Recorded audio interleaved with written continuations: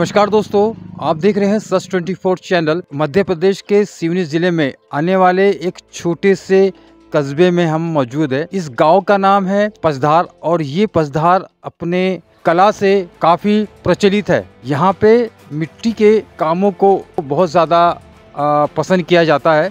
तो दोस्तों, हम लोग आपको दिखाना चाहेंगे इनकी वास्तुकला के कुछ नमूने और हम बात करना चाहेंगे यहाँ के जो कलाकार है, उनकी अपनी स्थिति क्या है? और ये जो जगह है, दोस्तों, ये जगह पेंच नेशनल पार्क के अंदर आने वाली जगह है तो इससे भी इसका महत्व और बढ़ जाता है। तो चलिए दोस्तों, हम बात करते एक नौजवान शख्स से, जो इस मिट्टी के को आकार दे रहा है, एक कला का अपना एक नमूना पेश कर रहा है। आ, दोस्तों आ, हम बात करेंगे एक नौजवान शख्स से जो यहाँ पे मिट्टी में कुछ अपनी कला का प्रदर्शन कर रहा था। तो आपका नाम क्या है? मेरा नाम दीपक शनिचर्य है। ओके। जी। आ, आप आपका ये जो कारोबार है ये पीढ़ी दर पीढ़ी का कारोबार है या फिर अभी आपने सीखा है? पीढ़ी दर पीढ़ी चल के आ रहा है ये कारोबार। जैसे पहले पापा करते थे उनके पापा करते थे अभी हम लोग कर रहे हैं। अच्छा। तो हम लोग ने यहाँ देखा है कि ये गाँव में मूर्ति बहुत ज़्यादा फ़ेमस होती है। तो यहाँ पे मूर्तिकार ज़्यादा पाए जाते हैं। तो मूर्तिकार के अलावा आपने यहाँ पे मुझे और भी चीज़ें दिख रही है जो इंटरनेशनल लेवल पर इस कला को ज़्यादा पसंद किया जाता है। तो ये चीज़ें आपने कब शुरू की? जो आप बाकी जो चीज़ें दिख रही है मुझे ऐसी कला जो दिख रही है। ये भी कुछ ही सालों से चालू हुई है करीब चार पाँच सालों से स्टार्ट हुआ है ये सब चीज़ें। जैसे यहाँ टूरिज़्म काफ़ी ज़्यादा है उस उस बेस पे ये स्टार्ट हुआ है।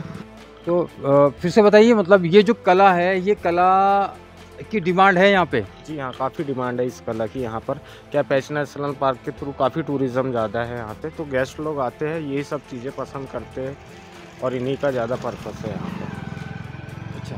जी। तो इस इसका आपका जो मेहनताना या इसकी कीमत आपको यहाँ मिलती है? हाँ मिलती है पर उतना नहीं मिल पाता। काफ़ी यानी कम मिलता है इतना मेहनताना नहीं मिल पाता पर तो ऐसा टूरिस्ट लोग तो आते हैं तो शायद उन लोग तो कुछ आपको इसका सही कीमत देते होंगे ना? हाँ सर देते हैं पर जैसे इसमें टूट फूट काफ़ी हो जाती है तो हमें इतना वो नहीं होता। बस थोड़ा किए उसी में काफ़ी है। तो मैं ये देख रहा हूँ कि गाँव में ज़्यादातर लोग मिट्टी के कामों में ही लगे हुए हैं। तो क्या ये इनका कई सालों पुराना काम है हाँ? या फिर इसके अलावा उनके पास दूसरा इनकम सोर्स नहीं है? दूसरा इनकम सोर्स नहीं है सर यही काम है यहाँ पर सर।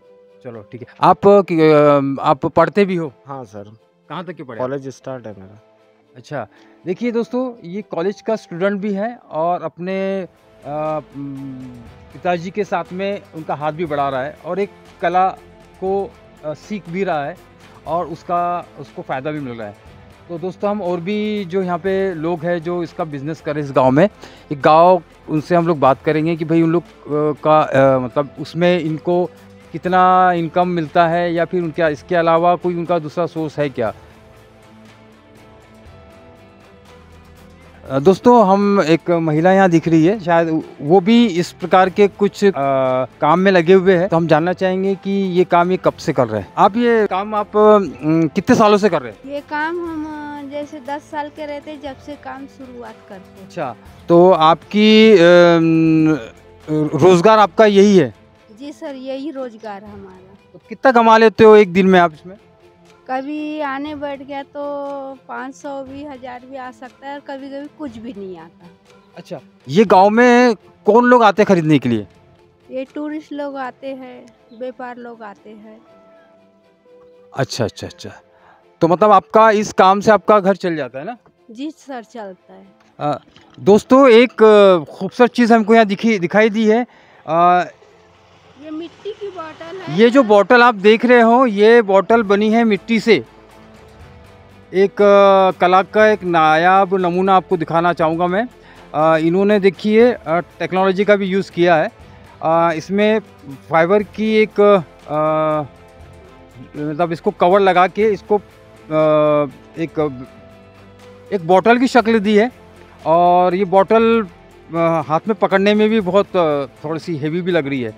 शायद ये स्वास्थ्य के लिए भी बहुत अच्छी है, क्योंकि इसमें शायद अगर हम पानी यूज़ करते तो पानी भी आपको अच्छा फ़िल्टर वाला पानी मिल सकता है।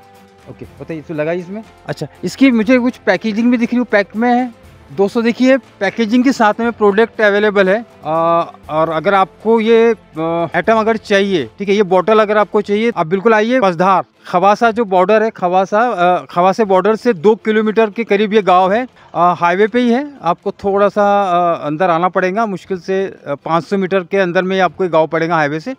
और ये प्रोडक्ट देखिए पैकेजिंग के साथ में अवेलेबल है। और यहाँ के जो यहाँ के जो कलाकार है, ये अपने प्रोडक्ट को बेचना भी जानते हैं। तो देखिए, बहुत बेहतरीन चीज़ दिख रही है।